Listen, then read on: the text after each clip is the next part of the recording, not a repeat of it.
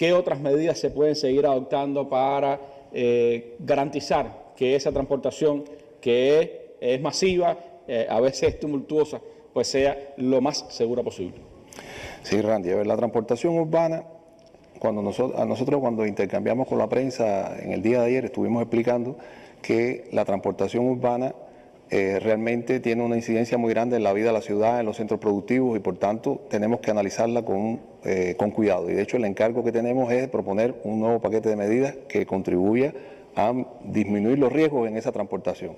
Yo pienso que la primera y gran medida es la que contribuya a que menos personas se muevan. Y yo pienso que es la génesis del problema de la transportación urbana. Es el momento de estar en la casa y no estar en la calle. Pero bueno, de todas maneras, el transporte público, ya nosotros habíamos adoptado un conjunto de, medidas en todo el país, que tienen que ver con la desinfección, con la utilización de nasoduco por parte de los choferes, la limpieza, eh, todo un conjunto de medidas que, eh, vamos a decir, preparaban el equipo para eh, no transmitir la enfermedad. Sin embargo, nosotros también recomendamos en el día de ayer que todo el que tuviera nasobuco o que todo el mundo tratara de usar eh, nasobuco.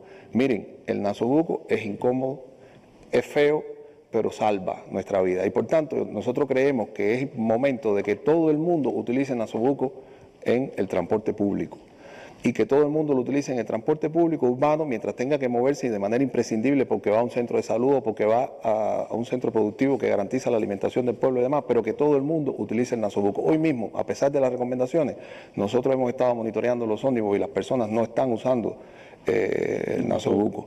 Y lo que estamos trasladando como una recomendación prácticamente como eh, pidiéndole a las personas que se salven y que ayuden a salvar a los demás. Pues, pues nosotros eh, lo próximo que tendremos, tendremos que adoptar es la medida de, que sea obligatorio y, comenzar a decir. No, nosotros creemos que lo importante es que las personas tomen conciencia de la importancia de usar el nasobuco en el transporte público, en los vehículos estatales. ahí no pueden estar a, dos metros y medio o dos metros de separación, ahí es muy están difícil, todos uno sobre otro es muy difícil. y no hay otra seguridad que esa. Es muy difícil y también si nosotros mantenemos la misma movilidad, con la situación que hemos tenido en los últimos meses con el transporte público, tampoco se puede esperar que va a haber un incremento de, servicios.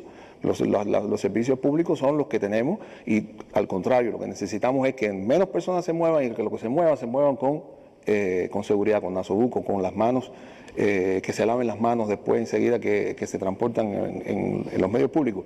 Y seguiremos evaluando otras medidas para eh, garantizar la seguridad de todas las personas que iremos informando en la medida que estas medidas sean aprobadas por la dirección del gobierno. Eso, eso atañe también, ministro, a los transportes estatales que están ayudando a la transportación en, la capital y en otros lugares. Exactamente. Esos vehículos estatales que hoy contribuyen con la transportación de la población eh, en los puntos, en las paradas, con los inspectores y demás, en todos los lugares, pues es importante que continúen con esa labor, pero igual, con Nasobuco, utilicemos nasobuco en los vehículos colectivos, porque de lo contrario estaremos atentando contra la salud.